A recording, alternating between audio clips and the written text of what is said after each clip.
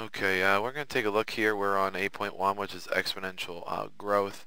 And basically, um, what we have is, I want you to be concerned with this. And mainly this. Notice how there's an exponent in the air. So what I want you to do is uh, go to your graphing calculators and uh, go to y equals. And once there, uh, press clear. Clear everything out of there. Okay. Um, all I want you to do is type in a 4 then a caret sign, and then x. That basically means that it's going to the um, x power. And this is what exponential functions are. And when you go to graph, um, just a rough little sketch, it looks kind of like this. Looks like it shoots up like that. Well, let's find out exactly what it does, shall we? Uh, to see exactly what it does, if you press second, if you press second, and then graph, you get a list, right? So you press second and graph, we have a list. And on the list, here's what I see that I have. Um, negative 2 is 0.0625. Um, negative 1 is 0.25.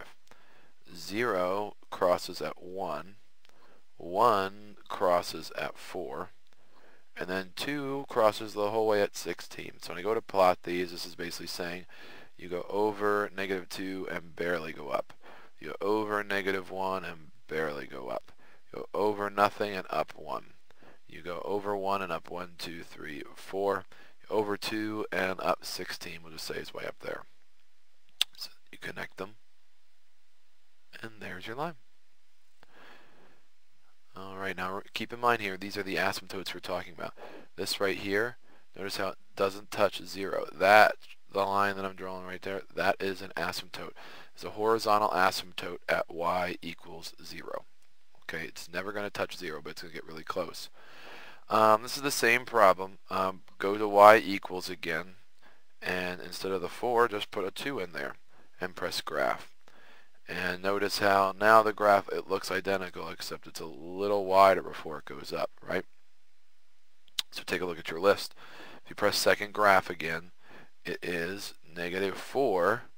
Right now it's negative 4 and 0.0625. And then at negative 3, it's 0.125. And at negative 2, it's 0.25.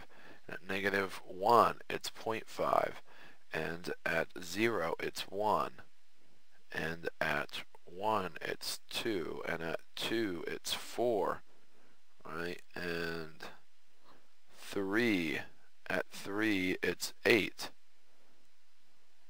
okay so let's start plotting these. Negative 4 1 2 3 4 and barely go up. And negative 3 and barely go up. Negative 2 and barely go up negative 1, and now I'm at a half. 0, 1, 1, 2, 2, 4, 3, 1, 5, 6, 7, 3, 8, and 4, 16's way up there, so and all you need to do is connect all your dots with a line.